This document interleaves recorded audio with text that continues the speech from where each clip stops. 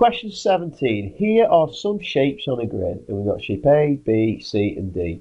Write the letter of each shape that has one pair of parallel sides. Well, shape A, C, B, and D are all quadrilaterals.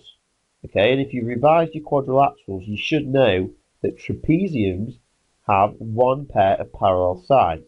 And shape A is a trapezium. So your one pair of parallel sides on shape A is those two sides. They don't have to be the same length. So as you can see, the bottom side is much longer, but it is still parallel to the top side because parallel sides are pointing in the same direction. And if they were extended, you would find that the two sides would not go towards each other. They would stay the same distance apart all the way along. Those two lines are two squares apart all the way along. So those two sides are parallel. So shape A definitely has one pair of parallel sides. Shape B doesn't have any pair of lines that are parallel.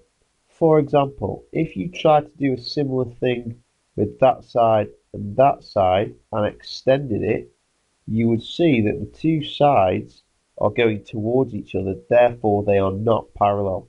So we can't include shape B. We can include shape A, but we can't include shape B.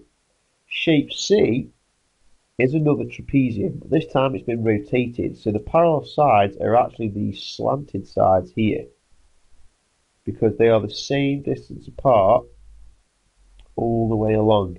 And if you extended them, you would get exactly the same thing. So these two points are three squares apart. These two points are three squares apart. These two points are three squares apart. They're the same distance all the way along. So C does have parallel lines. So we can mention it.